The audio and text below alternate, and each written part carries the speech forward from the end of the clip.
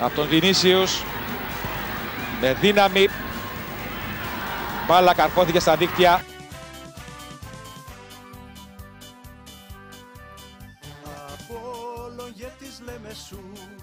Παραλαμπίδης σηκώνει την μπάλα, δεν πήρε την κεφαλιά ο Μωράης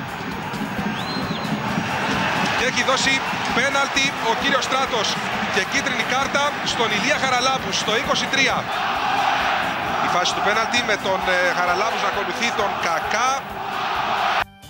Όλη η Κύπρος εθωρεί